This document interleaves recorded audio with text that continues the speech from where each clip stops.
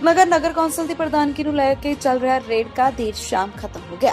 ਨਗਰ council ਦੀ ਪ੍ਰਧਾਨਗੀ ਨੂੰ ਲੈ ਕੇ ਰੱਖੀ ਚੋਣ ਪਹਿਲਾਂ ਸਵੇਰੇ ਏਡੀਸੀ ਵੱਲੋਂ ਇੱਕ ਕੌਂਸਲਰ ਦੇ ਕਰੋਨਾ ਪੋਜ਼ਿਟਿਵ ਹੋਣ ਕਾਰਨ ਮੁਲਤਵੀ ਕਰ ਦਿੱਤੀ ਸੀ, ਪਰੰਤੂ ਦੇਰ ਸ਼ਾਮ 6:30 ਵਜੇ ਦੁਬਾਰਾ ਤੋਂ ਇਹ ਚੋਣ ਕਰਵਾਉਂਦੇ ਹੋਏ ਪੰਜਾਬ ਯੂਥ ਕਾਂਗਰਸ ਪ੍ਰਧਾਨ ਬਰਿੰਦਰ ਢਿੱਲੋਂ ਧੜੇ ਦੇ ਕਾਂਗਰਸੀ ਕੌਂਸਲਰ ਸੰਜੇ ਵਰਮਾ ਵੇਲੇ ਵਾਲੇ ਨੂੰ ਪ੍ਰਧਾਨ ਐਲਾਨ ਕਰ ਦਿੱਤਾ। ਜਦੋਂ ਕਿ ਜੇਤੂ ਰਹੇ ਸੀਨੀਅਰ ਕਾਂਗਰਸੀ ਕਾਉਂਸਲਰ ਨੇ ਚੋਣ ਨੂੰ ਗਲਤ ਦੱਸਦੇ ਹੋਏ ਲੋਕਤੰਤਰ ਦਾ ਕਾਂਡ ਦੱਸਿਆ। ਹੋਰ ਕੀ ਉਹਨਾਂ ਕਿਹਾ? ਆਓ ਜਾਣਦੇ ਹਾਂ। ਰੂਪਨਗਰ ਤੋਂ ਸੱਜਣ ਸਿੰਘ ਸੈਣੀ ਦੀ ਜ਼ੀਰੋ ਲਾਈਨ ਟੀਵੀ ਦੇ ਲਈ ਰਿਪੋਰਟ।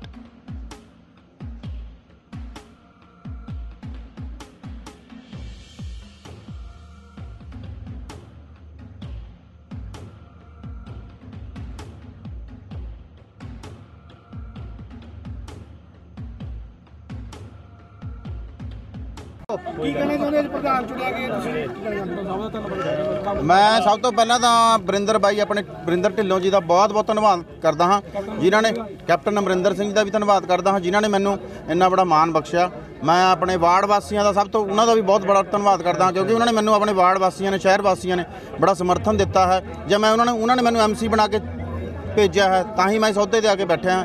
ਮੈਂ ਆਪਣੀ ਪੂਰੀ ਇਮਾਨਦਾਰੀ ਦੇ ਨਾਲ ਇਸ ਜੋ ਵੀ ਮੈਨੂੰ ਜ਼ਿੰਮੇਵਾਰੀ ਸੌਂਪੀ ਗਈ ਹੈ ਮੈਨੂੰ ਪੂਰੀ ਇਮਾਨਦਾਰੀ ਦੇ ਨਾਲ ਨਿਭਾਵਾਂਗਾ। ਹਿੰਦੁਸਤਾਨ ਦੀ ਲੀਡਰਸ਼ਿਪ ਦਾ ਤੁਸੀਂ ਲੋਕਾਂ ਦੇ ਨਾਲ ਉਹ ਜਿਹੜੇ ਕਿੰਨੀ ਕੁ ਜਲਦੀ ਜਿਹੜੀ ਹੈਗੀ ਕਿ ਆਉਣ ਵਾਲੇ ਦਿਨਾਂ ਚ ਹੋਣਗੇ। ਕੋਸ਼ਿਸ਼ ਕਰਾਂਗੇ ਜੀ ਜਿੰਨੀ ਜਲਦੀ ਤੋਂ ਜਲਦੀ ਵਾਅਦੇ ਜੋ ਵੀ ਹੈ ਸਾਰੇ ਨੇ ਕਰਾਂਗੇ ਪੂਰੇ ਜੀ। ਜਿਹੜੀ ਚੋਣ ਹੋਈ ਹੈ ਕੀ ਕਹਿਣਾ ਚਾਹੁੰਦੇ ਨੇ ਲੈ ਕੇ ਚੋਣ ਕਾਂਗਰਸ ਪਾਰਟੀ ਦੀ ਜਿੱਤ ਹੋਈ ਆ ਔਰ ਇੱਕ ਬਹੁਤ ਹੀ ਟਕਸਾਲੀ ਪਰਿਵਾਰ ਚੋਂ ਪੁਰਾਣੇ ਕਾਂਗਰਸੀ ਪਰਿਵਾਰ ਜਿਨ੍ਹਾਂ ਦਾ ਬੜਾ ਨਾਂ ਸੀਗਾ ਸਾਰਿਆਂ ਦਾ ਸਾਰੇ ਉਹ ਸਾਥੀਆਂ ਨੂੰ ਸਾਡੇ ਮੁਬਾਰਕ ਹੋਵੇ ਔਰ ਮੈਂ ਸੰਜੇ ਵਰਮਾ ਜੀ ਨੂੰ, ਸਾਡੇ ਜੋ ਨਵੇਂ ਨਿਯੁਕਤ ਪ੍ਰਧਾਨ ਆ, ਸਾਡੇ ਚੰਨੀ ਸਾਹਿਬ, ਸਾਡੇ ਜੋਲੀ ਸਾਹਿਬ, ਸਾਡੇ ਗੁਪਤਾ ਮੈਡਮ, ਸਾਡੇ ਭੈਣ ਜੀ ਚੀਨੀ ਹੋਣੀ, ਆਪਣਾ ਕਹਿੰਦੇ ਕੋਸ਼ਿਸ਼ ਕੀਤੀ ਆ ਵੀ ਹਰ ਵਰਗ ਨੂੰ, ਹਰ ਹਰ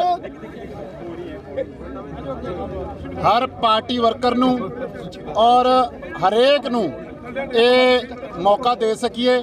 ਵੀ ਜਿਹਦੇ ਨਾਲ ਵੀ ਉਹ ਕਾਂਗਰਸ ਪਾਰਟੀ ਦੀ ਜਿਹੜੀ ਸਰਕਾਰ ਬਣੀ ਆ, ਉਹਦੇ ਵਿੱਚ ਵੱਧ ਤੋਂ ਵੱਧ ਸੇਵਾ ਕਰ ਸਕਣ। ਕਿਉਂਕਿ ਤੁਸੀਂ ਵੇਖੋ, ਬੜੇ ਲੰਮੇ ਸਮੇਂ ਤੋਂ ਕਮੇਟੀ ਦੇ ਵਿੱਚ ਕਾਂਗਰਸ ਪਾਰਟੀ ਬੇਸ਼ੱਕ ਸਰਕਾਰ ਤਾਂ ਕਾਬਜ ਸੀ, ਲੇਕਿਨ ਕਮੇਟੀ ਦੇ ਵਿੱਚ ਬੜੀਆਂ ਅੜਚਨਾਂ ਆ ਰਹੀਆਂ ਸੀ ਔਰ ਸ਼ਹਿਰ ਜੋ ਕਿ ਆਪਣੀ ਵਿਧਾਨ ਸਭਾ ਦਾ, ਜ਼ਿਲ੍ਹੇ ਦਾ ਇੱਕ ਦਿਲ ਹੈਗਾ ਵਾ, ਇਹਦੇ ਵਿੱਚ ਵਿਕਾਸ ਕਾਰਜਾਂ ਦੇ ਵਿੱਚ ਔਰ ਹਰ ਮੁਸ਼ਕਲਾਂ ਦੇ ਵਿੱਚ ਕਿਤੇ ਨਾ ਕਿਤੇ ਅੜੇ- ਅੜਿੰਗੇ ਪਾਏ ਜਾਂਦੇ ਸੀ। ਹੁਣ ਸਾਡੇ ਕੋਲ ਵੀ ਕੋਈ ਬਹਾਨਾ ਨਹੀਂ ਆ ਔਰ ਲੋਕਾਂ ਨੂੰ ਵੀ ਇੱਕ ਆਸਾਂ ਉਮੀਦਾਂ ਜਿਹੜੀਆਂ ਬਣੀਆਂ ਹੋਈਆਂ ਵਾ ਉਹ ਅਸੀਂ ਖਰੀਆਂ ਉਮੀਦ ਕਰਦੇ ਉਹਨਾਂ ਤੇ ਖਰੇ ਉਤਰਾਂਗੇ ਔਰ ਇਹੀ ਕੋਸ਼ਿਸ਼ ਰਹੀ ਆ। ਮੈਂ ਫਿਰ ਦੁਬਾਰਾ ਕਹਿ ਦਿੰਦਾ ਹਰ ਵਰਗ ਨੂੰ ਹਰ ਸਮਾਜ ਨੂੰ ਹਰੇਕ ਨੂੰ ਇਕੁਅਲ ਰਿਪਰੈਜ਼ੈਂਟੇਸ਼ਨ ਦਿੱਤੀ ਜਾਵੇ ਔਰ ਇਹੀ ਕੋਸ਼ਿਸ਼ ਕੀਤੀ ਆ ਵੀ ਆਪਾਂ ਇਸ ਚੀਜ਼ ਨੂੰ ਵੱਧ ਚੜ ਕੇ ਲੋਕਾਂ ਦੇ ਵਿੱਚ ਇਹਨਾਂ ਨੂੰ ਉਮੀਦ ਕਰਦੇ ਆ ਸੇਵਾ ਕਰਨਗੇ ਔਰ ਸ਼ਹਿਰ ਨੂੰ ਬਹੁਤ ਖੂਬਸੂਰਤ ਬਣਾਉਣਗੇ। ਸਵੇਰੇ ਇਹ ਚੋਣ ਪੋਸਟਪੋਨ ਹੋਈ ਤੇ ਹੁਣ ਸ਼ਾਮੀ ਕਰਾਏਗੀ ਕੀ ਕਾਰਨ ਇਹਦੇ ਵਿੱਚ ਕੀ ਕਾਰਨ ਉਹਦੇ ਅੰਦਰ ਕਾਰਨ ਇਹ ਰਿਹਾ ਇੱਕ ਪੇਸ਼ੈਂਟ ਨੂੰ ਕਰੋਨਾ ਆ ਗਿਆ ਸੀਗਾ। ਸੋ ਕਾਰਨ ਤਾਂ ਇਹ ਰਿਹਾ ਉਹਨਾਂ ਨੇ ਅੜਚਨਾ ਪਾਉਣ ਦੀ ਕੋਸ਼ਿਸ਼ ਕੀਤੀ ਕਿਸੇ ਨਾ ਕਿਸੇ ਤਰੀਕੇ ਵੀ ਅੜਚਨ ਪੈ ਜੇ। ਲੇਕਿਨ ਉਹ ਫਿਰ ਮੈਂ ਕਹੂੰਗਾ ਅਫਸਰ ਸਾਹਿਬਾਨਾਂ ਨੇ ਬੜੀ ਇਮਾਨਦਾਰੀ ਨਾਲ, ਬੜੇ ਸ਼ਿੱਦਤ ਦੇ ਨਾਲ ਉਹਨਾਂ ਨੇ ਉਸ ਚੀਜ਼ ਨੂੰ ਪਰਸਿਊ ਕੀਤਾ ਤਾਂ ਕਿ ਕਿਉਂਕਿ ਰੋਜ਼-ਰੋਜ਼ ਕਾਉਂਸਲਰਾਂ ਨੂੰ ਇਸੇ ਚੱਕਰਾਂ 'ਚ ਉਲਝਾ ਕੇ ਰੱਖਣ ਦਾ ਕੋਈ ਮਤਲਬ ਨਹੀਂ ਬਣਦਾ। ਉਹਨਾਂ ਤੋਂ ਵੀਡੀਓ ਕਾਨਫਰੰਸ ਰਾਹੀਂ ਵੋਟ ਪਵਾਉਣ ਦੀ ਗੱਲ ਕੀਤੀ। ਉੱਪਰੋਂ ਮੰਤਰੀ ਸਾਹਿਬ ਨੇ ਉਸ ਹੁਕਮ ਦੇ ਉੱਤੇ ਉਹਨਾਂ ਨੂੰ ਪਰਵਾਨਾ ਦਿੱਤਾ, ਉਹਨਾਂ ਨੂੰ ਉਸ ਚੀਜ਼ ਨੂੰ ਅਪੀਲ ਕੀਤੀ। ਔਰ ਐਂਡ ਵਿੱਚ ਉਹਨਾਂ ਨੂੰ ਵੋਟ ਪਾਉਣ ਦੀ ਜੋ ਜਿਹਦੇ ਕਰਕੇ ਉਹ ਇਸ਼ੂ ਬਣ ਰਿਹਾ ਸੀ ਉਹ ਵੋਟ ਪਾਉਣ ਦੀ ਉਹਨਾਂ ਨੂੰ ਪਰਮਿਸ਼ਨ ਦੇ ਦਿੱਤੀ ਗਈ। ਲੇਕਿਨ ਅਫਸੋਸ ਦੀ ਗੱਲ ਆ ਵੀ ਉਹਨਾਂ ਨੇ ਫਿਰ ਉਹੀ ਚੀਜ਼ਾਂ ਕੀਤੀਆਂ ਜਿਹੜੀ ਨੇ ਉਹਨਾਂ ਨੂੰ ਨਹੀਂ ਕਰਨੀ ਹੁਣ ਵੀ ਵਿਰੋਧੀਆਂ ਵੱਲੋਂ ਇਸ ਜਿਹੜੀ ਚੋਣ ਨੂੰ ਗੈਰ ਸੰਵਿਧਾਨਿਕ ਦੱਸਿਆ ਜਾ ਰਿਹਾ ਜਿਹੜੀ ਇਹ ਸੰਵਿਧਾਨ ਗੈਰ ਸੰਵਿਧਾਨ ਇਹ ਸਰਕਾਰ ਕੋਰਟ ਇਹ ਸਾਰੇ ਚੀਜ਼ਾਂ ਤੈਅ ਕਰਦੀਆਂ। ਤੁਹਾਡੇ ਸਾਹਮਣੇ 14 ਮੈਂਬਰ ਖੜੇ ਆ। ਕੋਰਮ ਆਫ ਦੀ ਹਾਊਸ ਪੂਰਾ ਵਾ। ਹਰ ਡਿਊ ਪ੍ਰੋਸੀਡਿੰਗ ਲਿੱਤੀ ਗਈ ਆ। ਟਾਈਮ ਦਿੱਤਾ ਗਿਆ ਵਾ।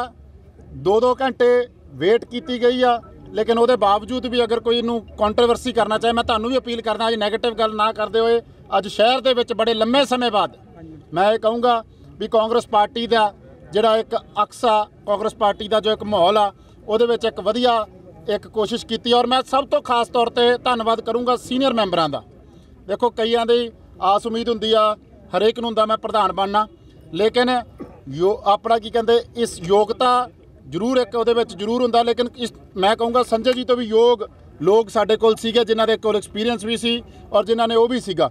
ਲੇਕਿਨ ਮੱਦੇਨਜ਼ਰ ਇਸ ਗੱਲ ਦਾ ਰੱਖਦੇ ਹੋਏ ਔਰ ਇੱਕ ਫੈਸਲੇ ਦੇ ਵਿੱਚ ਸਾਂਝ ਪਾਉਂਦੇ ਹੋਏ ਉਹਨਾਂ ਦਾ ਬਹੁਤ ਵੱਡੀ ਕੰਟਰੀਬਿਊਸ਼ਨ ਆ ਸਾਰਿਆਂ ਦੀ, ਭਾਵੇਂ ਉਹ ਜੋਲੀ ਸਾਹਿਬ ਹੋਣ, ਭਾਵੇਂ ਚੰਨੀ ਸਾਹਿਬ ਹੋਣ, ਆਪਣਾ ਕਹਿੰਦੇ, ਭਾਵੇਂ ਪਿੰਕਾ ਜੀ ਹੋਣ, ਔਰ ਵੀ ਸਾਡੇ ਸਾਥੀ ਜਿਨ੍ਹਾਂ ਨੇ ਇਹ ਸੋਚ ਕੇ ਆਪ ਪਹਿਲ ਕਦਮੀ ਕਰਕੇ ਵੀ ਨਹੀਂ ਆਪਾਂ 2000 ਆਪਣਾ ਕੀ ਕਹਿੰਦੇ, ਰਿੰਕੂ ਭਾਜੀ ਹੁਣ ਸੀਨੀਅਰ ਜਿਹੜੇ ਸਾਡੇ ਸਾਥੀ ਸੀਗੇ, ਜਿਹੜੇ ਪਿਛਲੀ ਵਾਰ ਇਲੈਕਸ਼ਨ ਲੜ ਚੁੱਕੇ ਸੀਗੇ ਔਰ ਜਿਨ੍ਹਾਂ ਨੇ ਪਹਿਲੋਂ ਪਹਿਲੋਂ ਇਲੈਕਸ਼ਨਾਂ ਲੜ ਚੁੱਕੀਆਂ ਸੀ ਔਰ ਇਹਦੇ ਵਿੱਚੋਂ ਬਣਨਾ ਇੱਕ ਨੇ ਹੁੰਦਾ ਔਰ ਸਾਡੀ ਇਹੀ ਕੋਸ਼ਿਸ਼ ਹੈ ਵੀ ਹਰੇਕ ਨੂੰ ਇਕੁਅਲ ਰਿਪਰੈਜ਼ੈਂਟੇਸ਼ਨ ਦੇ ਕੇ ਕਿਸੇ ਨੂੰ ਹੋਰ ਕਿਤੇ ਵਧੀਆ ਤਰੀਕੇ ਨਾਲ ਕੁਝ ਨਾ ਕੁਝ ਕਰਾਂਗੇ ਔਰ ਇਹੀ ਸਾਡੀ ਕੋਸ਼ਿਸ਼ ਦੇ ਵਿੱਚ ਮੈਂ ਕਹੂੰਗਾ ਜਿਸ ਤਰੀਕੇ ਨਾਲ ਸਾਰੇ ਇਕੱਠੇ ਹੋਏ ਆ, ਬਹੁਤ ਕਾਮਯਾਬੀ ਕਿਉਂਕਿ ਪਰਿਵਾਰ ਆ ਸਾਡਾ ਇਹ ਔਰ ਮੈਂ ਖਾਸ ਤੌਰ ਤੇ ਚੰਨੀ ਸਾਹਿਬ ਦੀ ਵੀ ਬਾਰ-ਬਾਰ ਤਾਰੀਫ ਕਰਦਾ, ਇਹਨਾਂ ਨੂੰ ਮੈਂ ਹਰ ਵਾਰ ਇਹਨਾਂ ਤੋਂ ਬਲੀ ਵੀ ਲੈ ਲੈਂਦਾ ਕਿਤੇ ਨਾ ਕਿਤੇ, ਇਹਨਾਂ ਦਾ ਵੀ ਚਾਹ ਹੁੰਦੀ, ਲੇਕਿਨ ਇਹ ਕੋਈ ਰਾਜਨੀਤੀ ਜਿਸ ਕਰਕੇ ਨਹੀਂ ਆ ਉਹਦਿਆਂ ਪਿੱਛੇ। ਉਹੀ ਜੋਲੀ ਸਾਹਿਬ ਆ, ਜਿਹੜੇ ਮੇਰੇ ਨਾਲ ਬੜੇ ਮੁਸ਼ਕਲ ਸਮੇਂ 'ਚ ਖੜੇ, ਜਿਨ੍ਹਾਂ ਨੇ ਹਮੇਸ਼ਾ ਮੇਰਾ ਸਾਥ ਦਿੱਤਾ, ਔਰ ਅੱਜ ਵੀ ਉਹਨਾਂ ਨੇ ਵੀ ਬੜਾ ਹੱਸਦੇ ਹੱਸਦੇ, ਜਦੋਂ ਇਹ ਫੈਸਲਾ ਕਰਨ ਦੀ ਵਾਰੀ ਆਈ, ਫੈਸਲਾ ਛੱਡ ਕੇ ਉਹਨਾਂ ਨੇ ਕਿਹਾ, ਜਿਸ ਚੀਜ਼ ਦੇ ਵਿੱਚ ਪਾਰਟੀ ਦਾ ਉਹ ਵਧੀਆ ਰਹਿੰਦਾ ਵਾ,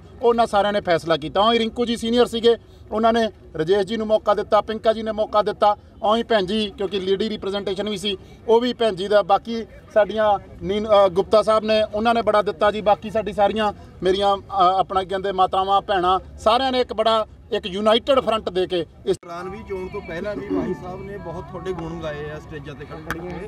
ਅੱਜ ਦੀ ਜਿਹੜੀ ਚੋਣ ਪ੍ਰਕਿਰਿਆ ਉਹਦੇ ਵਿੱਚ ਭਾਈ ਸਾਹਿਬ ਤੁਹਾਡੇ ਤੋਂ ਕਾਫੀ ਦੂਰ ਹੁੰਦੇ ਜਾਂਦੇ ਦਿਖਾਈ ਦੇ ਰਹੇ ਆ। ਇਹ ਕੀ ਕਾਰਨ ਹੋਇਆ? ਇਹ ਤੁਸੀਂ ਉਹਨਾਂ ਤੋਂ ਪੁੱਛ ਸਕਦੇ ਜੇ ਸਾਡੀ ਕੋਸ਼ਿਸ਼ ਤਾਂ ਸਭ ਨੂੰ ਨੇੜੇ ਲਾਉਣ ਦੀ ਆ ਔਰ ਅਸੀਂ ਨੇੜੇ ਲਾਉਣ ਦੀ ਕੋਸ਼ਿਸ਼ ਸਾਰਿਆਂ ਨੂੰ ਕੀਤੀ। ਲੇਕਿਨ ਇਹ ਉਹੀ ਗੱਲ ਆ ਵੀ ਪਦ ਏਕਾ ਦਾਅਵੇਦਾਰ ਕਈ ਹੁੰਦੇ ਆ।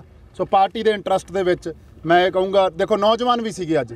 ਭਾਵੇਂ ਤੁਸੀਂ ਸਰਬਜੀਤ ਵੇਖ ਲਓ ਬਹੁਤ ਭਾਰੀ ਮਾਤਰਾ ਤੋਂ ਜਿੱਤਿਆ ਔਰ ਬੜੇ ਵੱਡਾ ਥੰਮ ਹਰਾਇਆ। ਔਂ ਹੀ ਮੋਹਿਤ ਵੇਖ ਲਓ, ਉਹਨੇ ਬੜਾ ਆਪਣਾ ਕੀ ਕਹਿੰਦੇ, ਵੱਡੇ ਵੱਡੇ ਥੰਮ ਹਰਾਏ ਆ। ਔਂ ਹੀ ਤੁਸੀਂ ਅਗਰ ਦੇਖੋ, ਲਾਡੀ ਵੇਖੋ, ਉਹ ਪਿਛਲੀ ਵਾਰ ਇਲੈਕਸ਼ਨ ਲੜੇ ਸੀਗੇ, ਤਿੰਨ ਵਾਰ ਇਲੈਕਸ਼ਨਾਂ ਲੜ ਚੁੱਕੇ ਸੀਗੇ। ਉਹ ਲਾਡੀ ਨੇ ਆਪਣਾ ਕੀ ਕਹਿੰਦੇ, ਐਤਕੀ ਉਹਨਾਂ ਦੀ ਵਾਈਫ ਕਿੱਡੇ ਭਾਰੀ ਮਾਰਜਨ ਤੋਂ ਜਿੱਤੀ ਆ। ਨਵੀਂ ਸੀਟ 25 ਸਾਲਾਂ ਤੋਂ ਅਕਾਲੀ ਦਲ ਕਦੀ ਜਿੱਤਿਆ ਨਹੀਂ ਸੀ, ਪੁਨੀਤ ਹੋਣੀ ਆ, ਆਪਣਾ ਕਹਿੰਦੇ, ਵਿਜੇ ਹੋਣੀ ਆ, ਇਹਨਾਂ ਨੇ ਕਿੱਡੇ ਵੱਡੇ ਮਾਰਜਨ ਤੋਂ ਉਹਨਾਂ ਨੂੰ ਹਰਾਇਆ। ਔਰ ਮੈਂ ਇਹ ਕਹਿੰਦਾ ਵੀ ਅਗਰ ਤੁਸੀਂ ਕੱਲੀ ਕੱਲੀ ਸੀਟ ਵੇਖੋ ਜਿਹੜੇ ਸਾਡੇ ਸਾਥੀ ਹਾਰ ਗਏ ਸੀਗੇ ਉਹਨਾਂ ਦੀ ਕਿੱਡੀ ਕੰਟਰੀਬਿਊਸ਼ਨ ਸੀਗੀ। ਸੋ ਇਹ ਬਿਲਕੁਲ ਠੀਕ ਆ ਅਗਰ ਇੱਕ ਹੀ ਜਾਣੇ ਦਾ ਆਪਾਂ ਨਹੀਂ ਇਹ ਕਹਿ ਸਕਦੇ ਵੀ ਕੱਲ ਨੂੰ ਮੈਂ ਕਹਾਂ ਵੀ ਮੈਂ ਹੀ ਇਕੱਲਾ ਮੈਂ ਹੀ ਮੈਂ ਆਪਣਾ ਕੀ ਕਹਿੰਦੇ ਮੈਂ ਕਹਾਂ ਕੱਲ ਨੂੰ ਮੇਰੇ ਤੋਂ ਯੋਗ ਕੋਈ ਆਊਗਾ ਜਾਂ ਮੇਰੇ ਤੋਂ ਕੱਲ ਨੂੰ ਮੰਨ ਲਓ ਮੇਰਾ ਯੋਗਤਾ ਬੰਦੀ ਵੀ ਹੋਊਗੀ।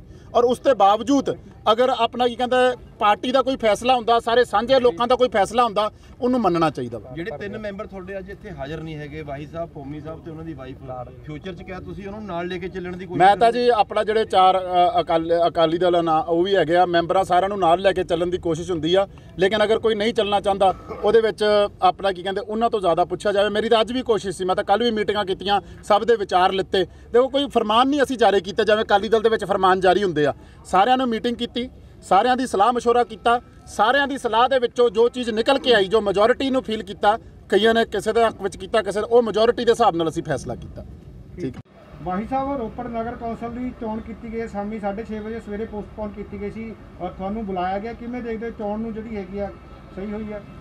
ਐਸਾ ਹੈ ਜਦ ਸਵੇਰੇ ਜਿਹੜਾ 11 ਵਜੇ ਦਾ ਟਾਈਮ ਦਿੱਤਾ ਸੀਗਾ ਉਸ ਟਾਈਮ ਮੇਰੇ ਨਾਲ ਸਾਰੇ ਜੋ ਅਸੀਂ ਇਲੈਕਸ਼ਨ ਜਿੱਤਣਾ ਚਾਹੁੰਦੇ ਸੀ ਉਹਦੇ ਸਾਰੇ ਮੇਰੇ ਕੋਲ ਪੂਰੇ ਸੀਗੇ। ਤੇ ਅਸੀਂ ਉੱਥੇ ਗਏ ਲੇਕਿਨ ਉਹ 11 ਵਜੇ ਤੱਕ ਮੀਟਿੰਗ ਸ਼ੁਰੂ ਕਰਕੇ 11 ਵਜੇ ਕੇ 15 ਮਿੰਟ ਤੱਕ ਕੋਈ ਬੰਦੇ ਅੰਦਰ ਆਏ ਨਹੀਂ ਤਕਰੀਬਨ ਤਕਰੀਬਨ 6 7 8 ਬੰਦੇ ਸੀਗੇ। ਔਰ ਮੈਂ ਮੈਡਮ ਏਡੀਸੀ ਸਾਹਿਬਾਂ ਨੂੰ ਕਿਹਾ ਵੀ ਮੈਡਮ ਐਸਾ ਹੈ ਵੀ ਕਾਨੂੰਨ ਇਹ ਕਹਿੰਦਾ ਵੀ 11 ਵਜੇ ਹਾਜ਼ਰ ਹੋ ਜਾਣਾ ਚਾਹੀਦਾ ਤੇ ਉਹ ਆ ਨਹੀਂ ਰਹੇ ਤੇ ਤੁਸੀਂ ਸਾਡਾ ਮ, ਜਿਹੜਾ ਇਹ ਇਲੈਕਸ਼ਨ ਹੈ ਕਰਾ ਦਿਓ। ਤੋ ਉਹ ਕਹਿ ਰਹੇ ਸੀ ਵੀ ਮੈਨੇ ਕੋਈ ਉੱਪਰੋਂ ਅਥਾਰਟੀਆਂ ਤੋਂ ਇਨਕੁਆਇਰੀ ਲਈ ਹੈ। ਮੈਨੂੰ ਉਹ ਮਿਲ ਨਹੀਂ ਰਹੀ ਤੇ ਮੈਂ ਇਸ ਕਰਕੇ ਇਹ ਮੀਟਿੰਗ ਨੂੰ ਲੰਬਾ ਕਰਨਾ ਚਾਹੁੰਦੀ ਹੈ ਤੇ ਜੋ ਕਿ ਕਾਨੂੰਨ ਦੇ ਦਾਇਰੇ ਵਿੱਚ ਬਿਲਕੁਲ ਨਹੀਂ ਸੀਗਾ। ਤੇ ਉਹ ਕਹਿੰਦੀ, ਠੀਕ ਹੈ ਮੈਂ ਕਿਹਾ, ਜੀ, ਫਿਰ ਸਾਨੂੰ ਤਾਂ ਕਾਨੂੰਨ ਇਹ ਕਹਿੰਦਾ ਹੈ ਬਈ, ਜਦ ਤੱਕ ਕੋਰਮ ਪੂਰਾ ਨਹੀਂ ਹੋਇਆ, ਤਾਂ ਮੀਟਿੰਗ ਅਡਜਰਨ ਹੋਣੀ ਚਾਹੀਦੀ ਹੈ। ਉਹ ਕਹਿੰਦੀ, ਠੀਕ ਹੈ ਆਈ ਆਖਰੀ। ਉਹਨਾਂ ਨੇ ਆਪਣੇ, ਉਹਨੂੰ ਮੀਟਿੰਗ ਨੂੰ ਅਡਜਰਨ ਕਰ ਦਿੱਤਾ ਔਰ ਪ੍ਰੈਸ ਦੇ ਵਿੱਚ ਆਪਣਾ ਇੰਟਰਵਿਊ ਦਿੱਤੀ ਹੈ ਵੀ ਮੈਂ ਇਹ ਕੋਵਿਡ ਦੇ ਸੰਬੰਧ ਵਿੱਚ ਇੱਕ ਮੈਂਬਰ ਦੀ ਉਹ ਇਨਕੁਆਇਰੀ ਪੈਂਡਿੰਗ ਆ, ਉਹਨੂੰ ਕਰਨਾ ਇਨਕੁਆਇਰ ਕਰਨਾ ਔਰ ਇਹ ਜਿਹੜੀ ਤੁਸੀਂ ਗੱਲ ਕਹਿ ਰਹੇ ਹੋ, ਠੀਕ ਹੈ ਅਗਰ ਤੁਸੀਂ ਜਾਣਾ ਚਾਹੁੰਦੇ ਹੋ ਵੀ ਕਾਨੂੰਨ ਦੇ ਦਾਇਰੇ 'ਚ ਨਹੀਂ ਹੈ ਤਾਂ ਚਲੇ ਜਾਓ।